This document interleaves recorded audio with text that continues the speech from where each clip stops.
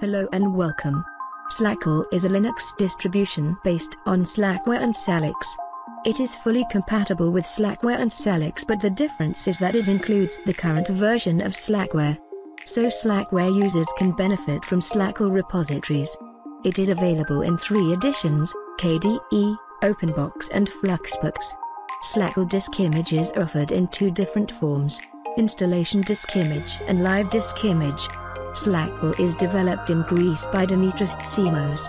Slackel means Greek Slackware. Slackware plus Hellenic.